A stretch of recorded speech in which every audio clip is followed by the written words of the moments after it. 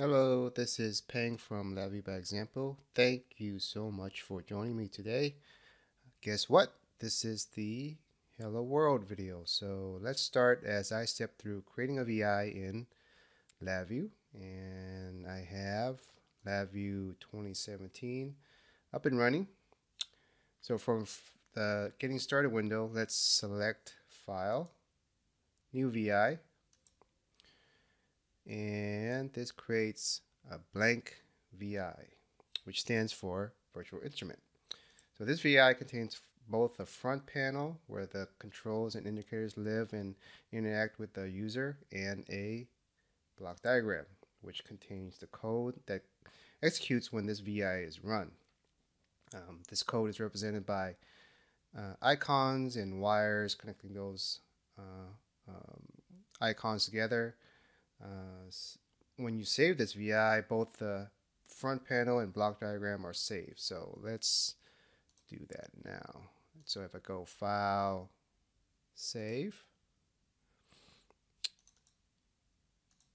and then let's type Hello World.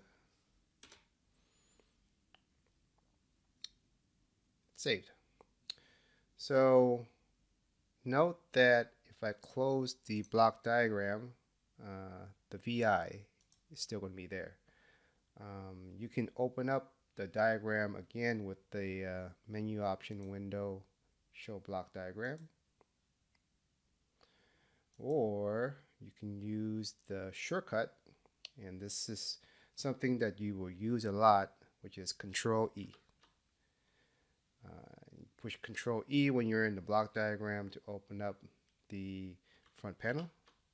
So you can go Control E, Control E, Control E all day, every day. So now to close a VI, you'll have to close the front panel with File Close or Window, actually um, Control W or just hitting the X in the upper right corner. You've got options, whatever floats your boat. Uh, so let's open up that again. Okay. To create a user interface item on the front panel, right click and find the item you want to place down. So right clicking will bring up, see it, uh, the controls palette. The control palette has uh, controls categorized by type and hovering over each group will open up another sub window with the controls under that category. So you got numeric, boolean, string. Okay, got that? So in this tutorial, I'm going to create a obligatory hello world example, but before I dive into how to do this in LabVIEW, um, let's go down the C Sharp Windows Form road using uh, Visual Studio so that you can maybe see where we're, we're trying to go with this. So uh, I'm in Visual Studio. Um, let's go ahead and open up a new project. Kind of off the page. Let's show that. New project. From here, I'll select Visual Studio and Windows Form app, and then just hit, let's do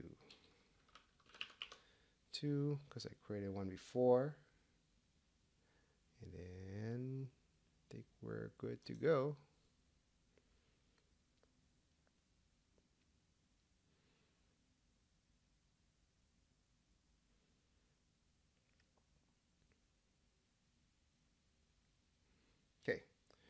So just like in LabVIEW, you'll have an area where you can add controls and indicators. So I'll need something to show text. Um, these controls and indicators, indicators can be found in the toolbox here. Uh, so if I click on common controls, I can select the label and drop that down. So let's do that now.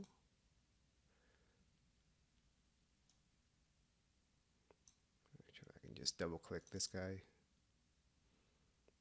close this, and you, there's a label. Um, C Sharp's a text-based language, so everything is referenced by name. As you can see as I scroll down to the properties and design, uh, and we'll just keep the default label one name. So just like in LabVIEW, you've got a C Sharp, um, you've got C Sharp code associated with the user, user interface. I can get to that code with the menu item view code or F7. And let's bring that out a little bit. Here you see some code already written for you um, to show the hello world text when the program launches or when the form loads. Um, you need to place the code in the class constructor. And the constructor method is the method with the same name as the class. Uh, so that's where we need to plug that in. So I'll type after this line label one dot text equals world. Okay, let's do a save all and I can run this using debug, start debugging, F5 or the start button here. Options. Yay. Let that compile. And you can see you have a hello world application running. Okay. All right. Uh, now back to LabVIEW. Got that out of the way. So I'll need something to show text. So the way I do that is um, I right click and under the string and path um, pick string con so I could either pick string control or string indicator. So since I want to show um, some text um, I want to select indicator. So I left click. And when I do that I get a outline of the indicator that moves with my cursor until I left click again where it'll drop that text indicator on the front panel. So if you notice, I open up the block diagram just, to see what happened. When I did that, a icon or a terminal appeared um, automatically on the block diagram and has the same name as the label shown with this uh, on the string indicator. So if I change this name, changes the, uh, the terminal name as well. Okay, so, so just like uh, what we saw in, uh, in C Sharp, I'll need to set a string to a string constant. So let's go into the code, which is the block diagram. So again, if this was closed, I can do a control E, get back to that. So let's move the terminal so I have room to wire, wire it to that indicator. Um, when writing LabVIEW code, always have everything flow from left to right, just like text. Um, note, note that the stuff on the block diagram doesn't affect the look and um, of the front panel. So I can move this around and the front panel um, element stays put. So I'll need a string constant, which can be found on the functions palette. Right click on the block diagram to bring that up. Uh, just like the controls palette, each function lives under di different roofs. Uh, so you can hover your cursor to the string and then string constant, left click, and then if I left click again, that places it on the block diagram. So I put that to the left of the indicator terminal. Now you want to wire that constant to the text indicator, which is the same thing as writing an equal sign uh, that we saw in C sharp. To do that, you'll want to, to position the mouse so that the wiring spool cursor appears. So if you notice, based on where I place my cursor, I get different uh, cursor icons. Um, so if I'm in the middle, I can move it around. Or on the edges, I can resize it. Like so. So it's similar to how PowerPoint image editing or any image editor editor you've seen works. Okay, so the best way to get a spool is to come from the right and then move slowly into the uh, constant uh, on its uh, on its right side and then you get the spool and you'll just want to go ahead and left click then you'll get a outline of a wire. Take it to the terminal until it shows that it, it's ready to connect and you left click again and then you have a connection. Awesome. Now uh, let's set the value of this string.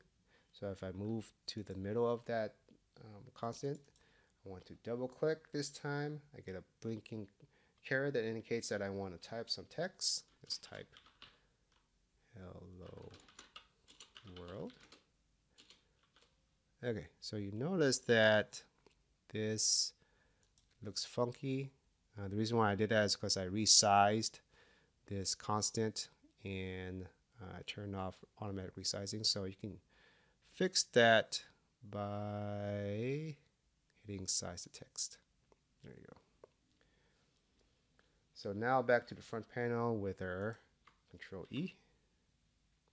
To run, I can do a menu option operate run control R or what a lot of people just do is hit that run arrow button so let's do that and voila oops this is world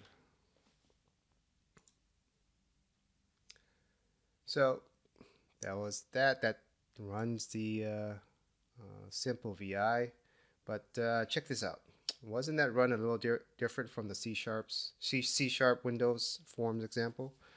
So when I ran it in LabVIEW, it ran once and then quit back to the development environment, while the C sharp example stayed in runtime until you hit the X to close out the program. Um, LabVIEW ran the code in runtime, then exited back to design time. Um, so I'll, I'll show you uh, how to have your LabVIEW VIs behave like normal uh, Windows applications uh, in later tutorials and videos. Um, okay, congrats. Uh, now you know how to create code in LabVIEW. How do you feel? Excited, proud, or still confused? Well, if you got any burning comments or questions, feel free to drop them below, or better yet, head on to LabViewByExample.com for more LabVIEW tips. Until next time, see you later.